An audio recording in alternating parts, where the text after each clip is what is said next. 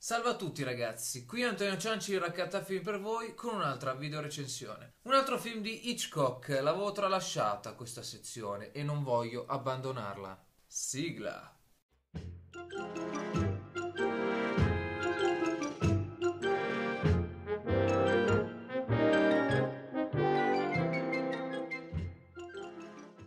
La donna che visse due volte ma per molti appassionati è stato sempre meglio chiamarlo con il titolo originale, Vertigo, più riuscito e pregno di significato, realizzato nel 1958. Jimmy Stewart, di nuovo fra noi come interprete principale, John Ferguson, un detective che ha voluto appendere il distintivo al chiodo, ma inaspettatamente avrà a che fare con un caso intrigante. Un carissimo amico gli ha commissionato un lavoro, pedinare la moglie di quest'ultimo affinché non si suicidi. L'incipit non è fra i più incisivi fra le opere di Hitchcock. La scena iniziale invece è rivoluzionaria e fa capire quanto il regista ha bisogno di rendere dettagliata ogni inquadratura per stare al passo con la psicologia dei personaggi. Per non farsi mancare nulla ha inventato una ripresa ben precisa per simulare la fobia delle altezze del nostro protagonista. Importantissimo elemento, eh, ricordiamo. E da qui appunto il titolo, Vertigo. Zoomata veloce e carrellata all'indietro. A questo punto il set si allunga e rende molto bene su schermo l'idea di vertigini che ossessiona il detective privato che andremo a seguire. Una donna misteriosa da rintracciare e pedinare, stavo dicendo, che nasconde molti segreti, alcuni interessanti, altri non tanto convincenti. La storia si dipana in mille direzioni, il progredire della narrazione ci attanaglia, ci confonde, non sappiamo se i personaggi sono quello che dicono di essere oppure se è frutto della loro immaginazione o se bolle ben altro in pentola. È il progetto più personale di Hitchcock, il più poetico oserei dire, perché questa volta ha in mente un percorso a spirale, pieno di colpi di scena, scalinate che scricchiolano così come i caratteri messi in gioco, dettagli di trama che lasciano intardetti ma subito dopo ci sorprendono. In più inserisce oggetti di scena da ricordare, da porre nelle sequenze giuste e suggerirci quindi qual è l'elemento da utilizzare per scovare la verità dietro a un racconto che sembra un eterno sogno. Ecco, ecco, un sogno, un mondo onirico dentro la quale John viene risucchiato, ecco il detective, e non ha soluzioni alcune se non rischiare il tutto e per tutto e innamorarsi di una donna ambigua, sinistra, che si dice abbia due vite in un corpo solo. Conquistarla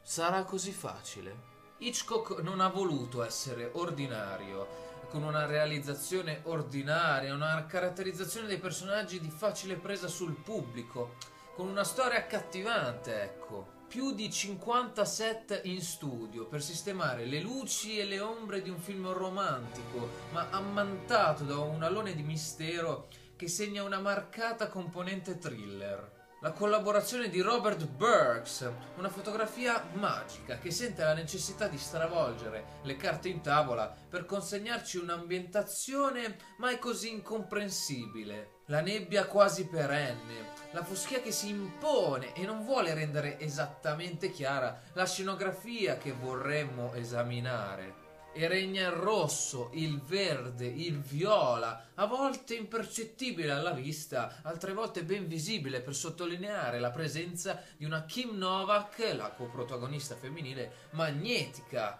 una donna, eh, la bionda Hitchcockiana che questa volta non delimita gli spazi in cui ci ritroviamo, ma li amplia eccezionalmente. Una sagoma, un fantasma. Chi è questa giovane donna? Ma chi è? Come mai ogni volta che appare in primo piano ci sentiamo imponenti e spaesati? Tutta sua la scena quando ci viene presentata e diventa poi di seguito padrona del film. Ogni cosa ruota intorno a lei e avremo sempre a che fare con elementi da associare ad un vortice che ci risucchia e ci stravolge. A partire dai titoli di testa di Soul Bass, ma è così in linea con il tono adattato in questo racconto, sino ad arrivare alle musiche di Bernard Herrmann, che intensifica ulteriormente lo stato di continuo disordine che aleggia fotogramma dopo fotogramma. Poche volte mi è capitato di non riuscire a comprendere appieno lo svolgimento di un thriller, di non prevedere le mosse degli attori e restare a bocca aperta nelle scene finali. Hitchcock appaga di nuovo la nostra voglia di ricercare opere elaborate che ti prendono in giro, ti sbattono in faccia il bandolo della matassa, per poi non sapere come procedere con la soluzione del problema. Hitchcock ti invita a giocare con lui per risolvere tu stesso una storia irragionevole perché è troppo al di fuori della nostra realtà. Ma come fa ad essere un thriller realizzato da lui? Non ce la si fa quindi a proseguire. Per fortuna rimane James Stewart, cioè rimane lui come ultimo appiglio per riuscire ad entrare nell'anima di un film dalla corazza molto dura da scalfire. Noi solo dopo la metà di film riusciamo finalmente ad entrare nel cuore del vortice di Vertigo, ma abbiamo lasciato indietro qualcuno. Il nostro protagonista, che ancora non sa nulla di quanto accaduto. Ed ecco qui da spettatore attivo, tutto a un tratto diventiamo bambini sotto le coperte, che non devono più impegnare il cervello ma continuano a domandarsi: e ora cosa succede?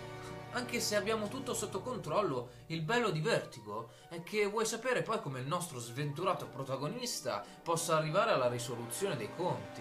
Un qualcosa di geniale. Non si può fare altro che elevarlo a capolavoro uno dei suoi film più noti, studiati e contemplati. Il voto quindi lo si può ben capire. Il mio film preferito della sua filmografia è un 10, senza riserve e ripensamenti. Qui Antonio Cianci, il Raccattafilm ha finito. Se questi film non li avete ancora visti, mannaggia a voi. Scherzo, vi invito caldamente a recuperarli perché è storia del cinema, anche questa, e non possono passare inosservati. Fatemi sapere invece se Vertigo lo avete visionato e adorato come me, vi aspetto nei commenti. Ringrazio di cuore chi mi segue, chi si è iscritto al canale e chi mi scrive in privato o sotto i miei video. Un saluto a tutti, ci vediamo al prossimo film di Hitchcock. Ciao ragazzi!